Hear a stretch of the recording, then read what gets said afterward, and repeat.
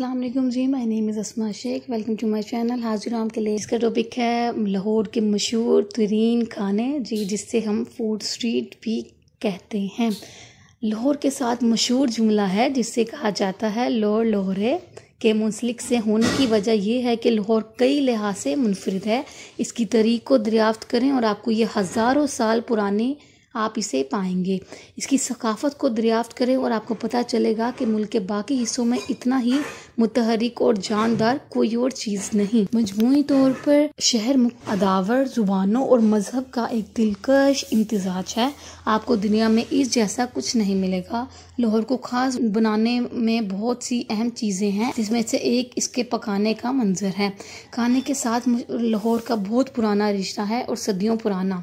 यही वजह है कि आप लाहौर की बहुत सी तरीकी फ़ूड स्ट्रीट से मिलेंगे। लाहौर में चार तरह फ़ूड स्ट्रीट्स लाहौर को ये खाने पीने वालों के लिए भी एक घर है। अगर आपको खाने के माहिर हैं और जो तरीके भी दिलदावा हैं तो आपको लाहौर की सबसे पुरानी और मशहूर फ़ूड स्ट्रीट का दौरा ज़रूर करना चाहिए जिनमें सबसे न, पहले नंबर पर आती है ग्वाल मंडी फ़ूड स्ट्रीट दूसरे नंबर पर आती है लक्ष्मी चौक फ़ूड स्ट्रीट तीसरे नंबर पर आती है लाहौर फोर्ट फ़ूड स्ट्रीट और चौथे नंबर पर आती है पुरानी अनारकली फ़ूड स्ट्रीट आप बाएँ और मालूम करें कि पुराने लाहौर की ये तारीखी फ़ूड स्ट्रीट्स आपके वक्त और पैसे के काबिल क्यों हैं? बात कर लेते हैं ग्वाल मंडी के बारे में। ग्वाल मंडी फ़ूड स्ट्रीट आप में, आप लाहौर में देसी फ़ूड कल्चर के तनों का तजर्बा करना चाहते हैं तो ग्वाल मंडी फ़ूड स्ट्रीट का दौरा आपके लिए ज़रूरी है।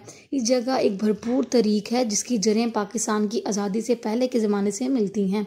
लाहौर के खाने पीने के शौकीन और मिल, मुल्क के दीगर हिस्सों से आने वाले सयाह इस जगह को जाना जाना पसंद करते हैं। ग्वाल मंडी फ़ूड स्ट्रीट आप लाहौर में देसी फ़ूड कल्चर के तनाव Gawal Mandi food food street खाने की अशिया की वसी इकसाम की पेशकश के लिए मशहूर है। मिसाल के तौर पर अगर आप देसी घी का हरीसा खाएँ तो वो तो चखना और आपको चाहिए ही, क्योंकि इसमें इतना जायका होता है कि मैं आपको बता नहीं सकती। अगर आप यहाँ लाहौर की मशहूर फीका लस्सी भी आपको मिलेगी, आपका शहर लाहौर का दौरा ग्वाल मंडी फ़ूड स्ट्रीट की विज़िट के बगैर अधूरा है। लिहाजा अपने विज़िट में इस फ़ूड स्ट्रीट को ज़रूर रखिएगा। ग्वाल मंडी में आजमाने के काबिल रेस्टोरेंट, जिसमें अमर सित्री हरीसा यूसुफ, फलूदा, हाजी सरदार फ़िश और सादिक मुरद छोले, लक्ष्मी चौक, फ़ूड स्ट्रीट। बात कर लेते हैं लाहौर की फ़ूड स्ट्रीट के बारे में। की मशहूर तरीकी फ़ूड स्ट्रीट में से एक है। ये इलाका मुस्तैद पाकिस्तानी खाना पेश करने के लिए मशहूर है। देर शाम इस जगह का दौरा करने का बेहतरीन वक्त है, क्योंकि ये इस वक्त होता है जब यहाँ खाने का मंजर ज़ोरों पर होता है। हर रोज़ लाहौर में खाने के शौकीन दो वजूहत की बिना पर आते हैं। एक यहाँ के लजीज खाने के लिए और दूसरा यहाँ का मसाली मकाम, ये शहर के मरकज़ में वाक़ है। और तीसरे नंबर पर आता है लक्ष्मी चौक। जब भी आप लक्ष्मी चौक फ़ूड स्ट्रीट पर जाएँगे गोल गप्पे के मज़ेदार जायके के साथ साथ आप वहाँ की कढ़ाई खाना मत भूलेगा।